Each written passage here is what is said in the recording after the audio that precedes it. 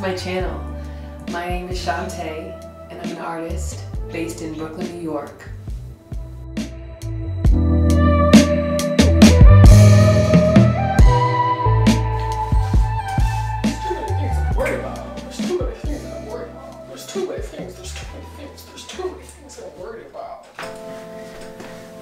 I'm sitting around looking at all this artwork that I've laid out and I've come to a conclusion that I am nowhere near where I want to be as an artist. I am nowhere close. So the pursuit continues. I want to go through some of my artwork just to revisit some past work that feels maybe not so great now, but for me then, that was, it was stellar. It was so good. I was so proud of myself. And then, you know, I tuck it away and I move on to the next thing. Right where I am now, I definitely know that there's so much more to be explored. There's this Alice Neel quote that really resonates with me and she talks about to be a good artist, you have to have two things, hypersensitivity and the will of the devil. You have to be unrelenting, even in the face of dissatisfaction. Because let me tell you, I am dissatisfied with pieces that I finish more often than I am gratified by them. And that's just really what keeps me going, is looking for what is next. So come along with me to look at some of the things that I've done in the past for fun. Let's go through it. I didn't want to include anything from my childhood, but I had to include these stick figure drawings because I get so much enjoyment out of these. Seeing into the mind of a sixth grader, it is frightening, but also super entertaining. I love a good story. I love some dark humor as well, and nothing's changed. These are my girls. They exist simply to be stunning and serve no other purpose. They're barely finished, if at all. They are never painted with a background. They stand alone in some random universe, forever isolated. I love them, but I also pity them because it looks so isolating wherever they exist. um, this one though, simply alone the hair, stellar. If I finish that background, which I have every intention in the world to finish that background one day, I will hang that on my wall because out of those, she stands alone, she stands out, she can continue on to see the light of day. The rest of them will remain tucked away till the end of time. These next two pieces, one of them was done for an art show. I tried to be a little whimsical and add linseed oil to make it look drippy. I don't know if anyone's ever told you this, but you can't make oil paint look drippy like acrylic paint. I mean, I'm sure you can, but it's hard and it doesn't always dry the best or look the best. I didn't know this and it did not age well at all. I am guilty of unfinished pieces. If it was a crime, I'd be in jail already. And I have to say, out of this, this whole piece, looking at this, the hair, kind of, and the clouds. The clouds are so good. If anything, that's what I clung to for this piece. I'm like, the clouds are so good. These pieces look like they've been excavated from the archives, so tattered and worn, ripped. This is the first time that I've ever done any academic drawing. I'm actually really proud of the boxing gloves, if anything. They were done in less than 15 minutes because I am a master procrastinator. At least I was back then. And this was due that day and I looked at a picture on my phone and I just drew it and to this day, I'm still very impressed by it. this portrait here, you can tell it's me, but she also looks like she descended from outer space, very alien-esque. very otherworldly. I like it. I don't love it. But back then, I was super proud of it. And it just is so over blended. But this is what's up. She's cute. Can you tell it's me? Which side of my face is it? Is it this side?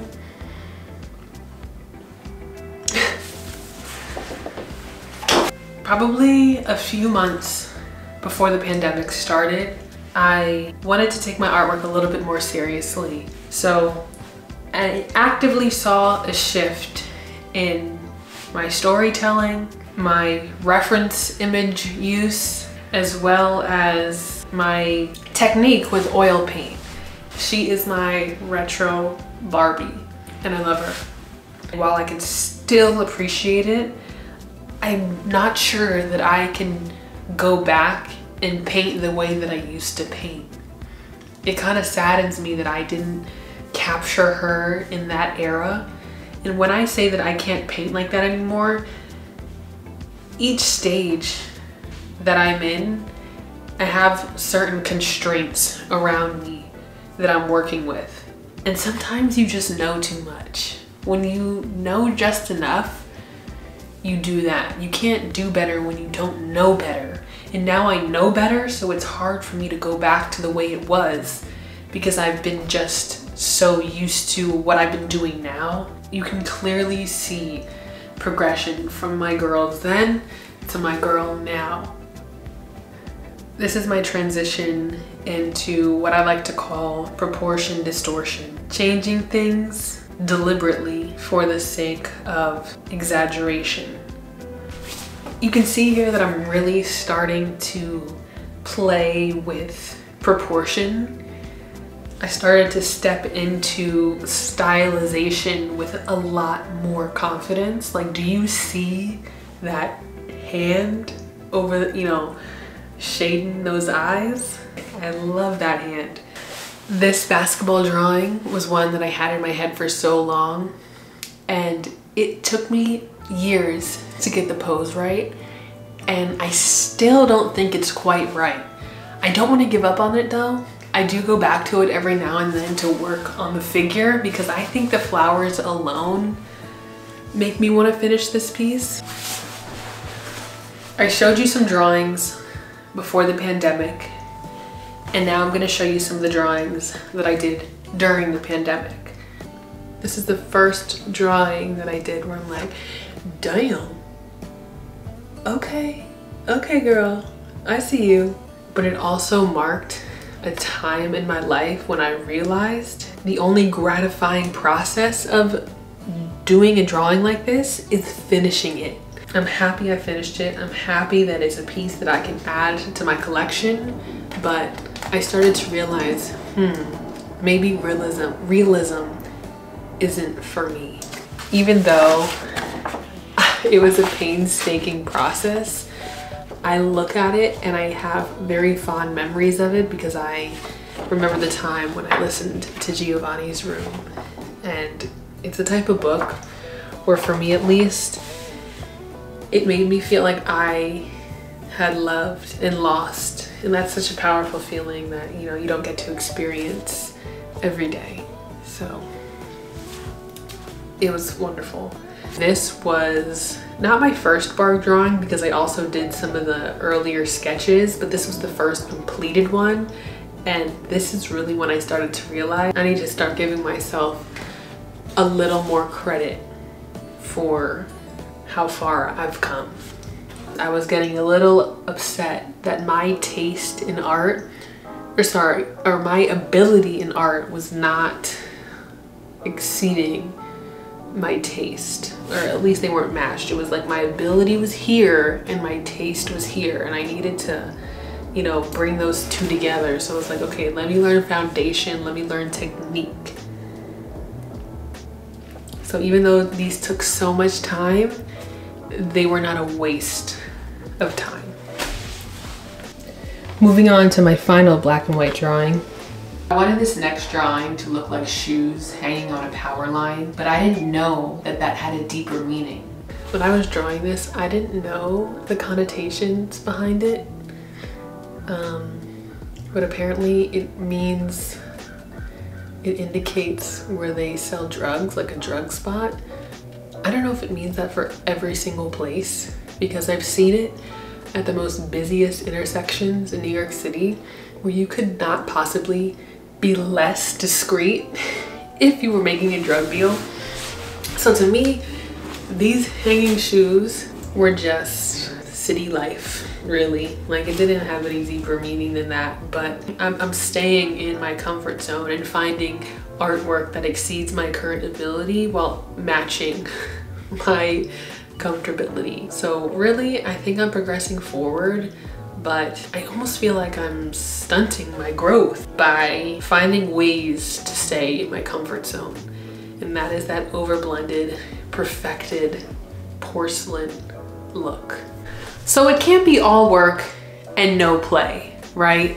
I'm like, I've been doing so much academic drawing. So I wanted to do this just for fun. This is totally outside of anything that I've ever done before. My Mr. Lonely series. It's okay, we all get sad sometimes and this is just a reminder. Phone a friend, go for a walk, even if it's in the rain.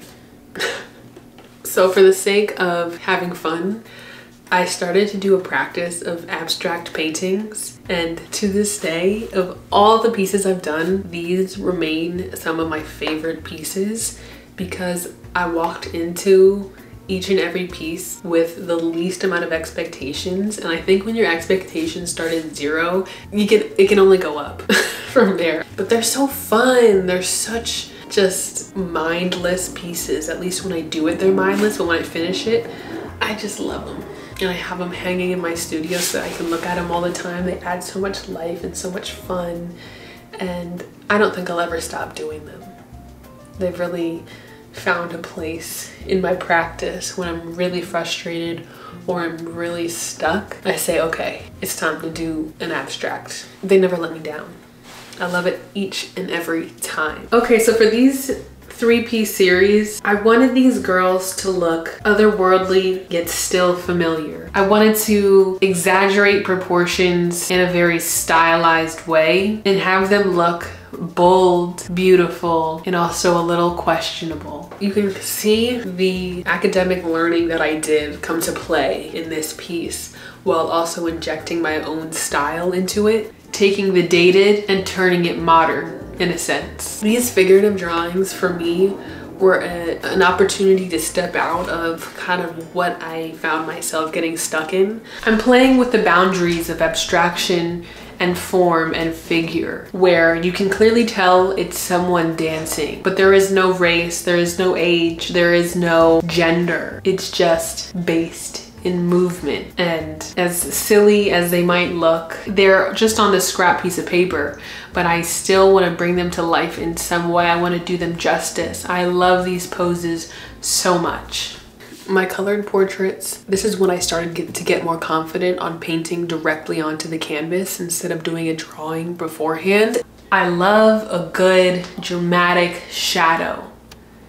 Bold shadows just create more dancing shapes around the face and creates a bit of tension with light and dark. When I tell you the inspiration for this drawing is not as it appears right now, I started to grasp the idea of not clinging so closely to an image you have in your head. This was the first time I finished a drawing in this style, not necessarily even knowing I was going in and it was gonna look like this. I gave myself a small set of constraints. I didn't stick so closely to an idea. I left room for experimentation and I embraced the unknown and kind of like, and went with it.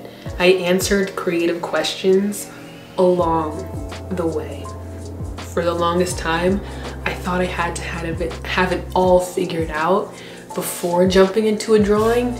This showed me that leaving room for error or happy accidents or whatever you want to call it, surprising yourself with the unexpected is so much more fulfilling than always trying to map everything out from start to finish before you even begin the piece. So I've challenged myself to capture someone's likeness and to capture their essence while also giving it an artistic spin And now we've arrived at my current piece that I'm applying to my art residency with. These paintings are of people I know in my personal life and to be honest, I didn't want it to end up as a realistic piece. I wanted to add my personal take on a portrait. However, I ran into a bit of a conundrum, really. I didn't want to create a portrait of someone where it looked like them, but also looked like a stylized version of them. I didn't want them to dislike it. I didn't want them to think I was making fun of them. So I need to start to paint more paintings of people that are stylized versions. So people get the gist of what I do walking into it. It's my comfort zone and I kind of fell back on that. And that made me realize that I'm nowhere near where I want to be. Thank you for going through this journey with me. Through this all, I've definitely come to realize that in order to know what I do want, I have to first know what I don't want. And I've tried many things. It's easy to feel like you've wasted time. That's kind of how I feel sometimes. I know that nothing is created in vain. These pieces were not created for nothing. They did steer me in a direction and ultimately made me realize what it is that I don't want. What's left to do is figure out what I do want and that's gonna take time, obviously. Clearly, I've been working on it for years. It's still not answered, but I'm getting there slowly. And each time I learn something new to take me in the right direction. It was uh, fun taking that journey with you. And I hope you come back to my channel just to see more progression because this is where it started and who knows where I'm gonna go.